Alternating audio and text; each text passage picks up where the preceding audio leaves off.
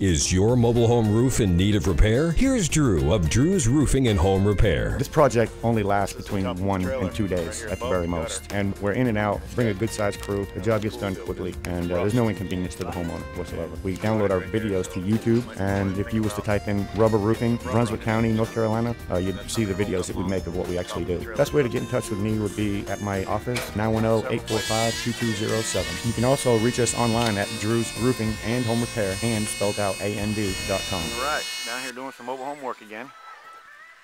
If your mobile home has these old style gutters on them, can't see them too good here, with the fascia boards on it, and they're leaking. Water runs behind them, in front of them. These old fascia boards don't, don't hold up after years anyway.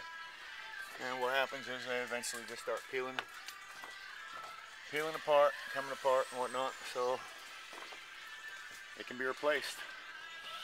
What we're doing is we're going to take these old fascia boards off, which have made nothing but press board, take the gutters off, get rid of the gutters, and then we're going to replace these old fascia boards with hardy board, which has a 40 or 50 year guarantee.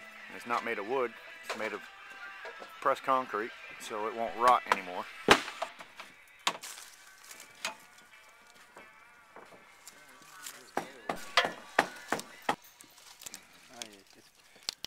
Dandy. Yes, well, it's, it's rotted. Yeah. It's rotted. Two or three spots right there. Right here too. The roof part's rotten because water was going behind it.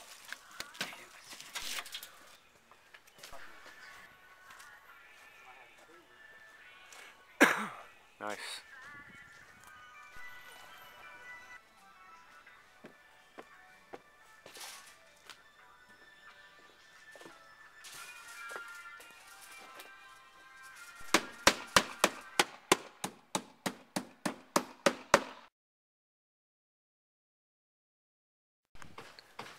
Where you want your picture?